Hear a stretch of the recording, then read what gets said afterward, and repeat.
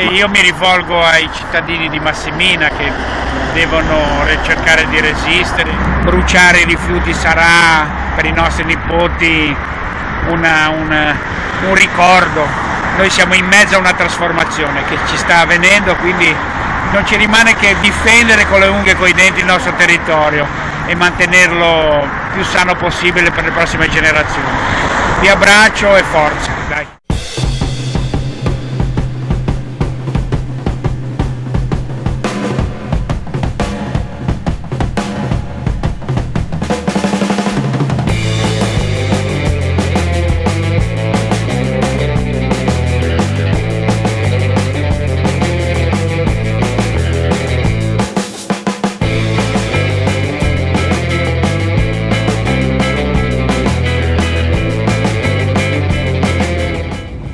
Siamo qui in camper a Torre del Greco per il Non Ci Fermate Tour e ci vediamo con Stefano, Vignaroli e tutti gli altri il 4 aprile a Malagrotta. Non mancate, ciao!